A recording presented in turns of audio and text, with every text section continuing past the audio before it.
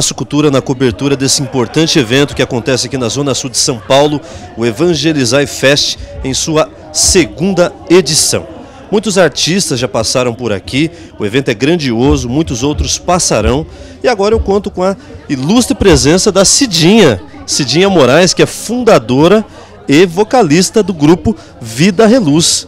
Tudo bem, Cidinha? Um prazer enorme estar aqui com você. Fala um pouquinho da importância de estar presente pela segunda vez nesse importante evento para a comunidade católica, o Evangelizai Fest. Em primeiro lugar, boa noite, André.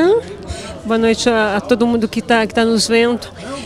Assim, é, a, gente, a gente, sabe o, o quão é difícil, né?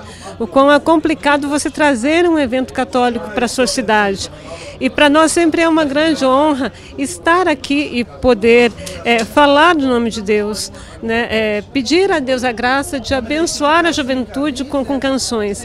O Evangelizar Fest é, foi algo assim que nasceu do coração dos padres, né, dos sacerdotes, é, para atrair a juventude de uma maneira diferente. E para nós isso sempre é muito importante, né?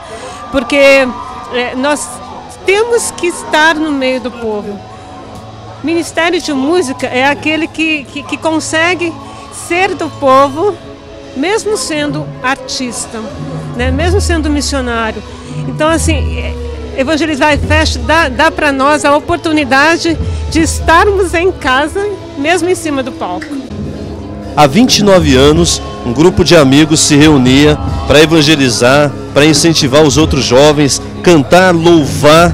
Você imaginava, Cidinha, que ia gerar todo esse movimento, todo esse sucesso e toda essa evangelização através da música? Pensando que em 95 veio o primeiro CD, já são oito CDs gravados, dois VHS, um DVD. Que mais o Vida Reluz vai oferecer para a comunidade católica a título de música?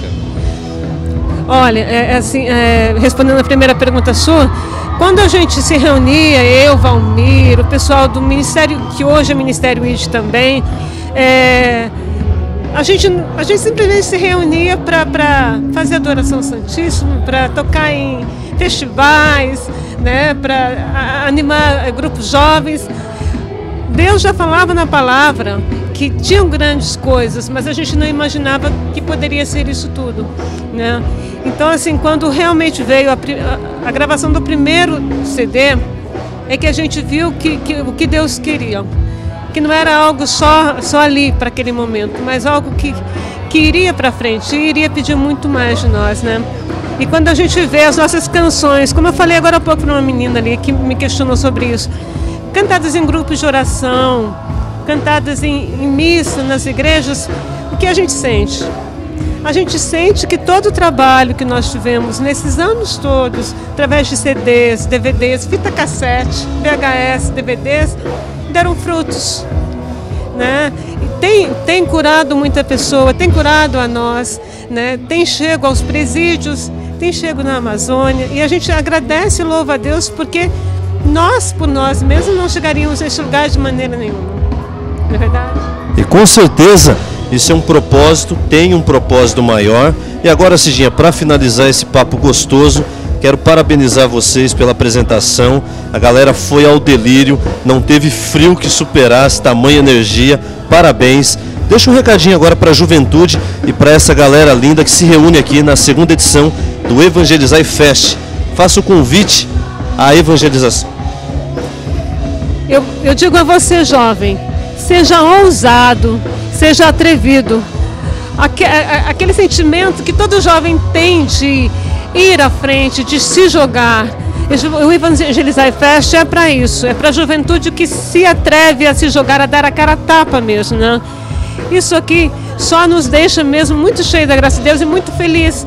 Então eu desafio a você, jovem que esteve aqui no ano passado, em 2013, nesse ano de 2014, a estar também em 2015 eu acredito muito na juventude, na ousadia que todo jovem tem, na alegria que todo jovem tem. Deus é jovem, não é verdade? E Ele quer que a igreja dele permaneça jovem. Nosso Papa pede isso, né? Que, que, que a igreja se volte para a juventude, para os mais carentes, porque é deles que emana essa força toda que a gente viu aí, né? Então seja ousado. Se atreva a estar aqui em 2015 no Evangelizar e Fest 3. Maravilha. Mais uma vez, parabéns, Cidinha. Parabéns ao Vida Reluz. O desafio está lançado. Vamos ousar também? Paz Cultura no Evangelizar e Fest, edição número 2.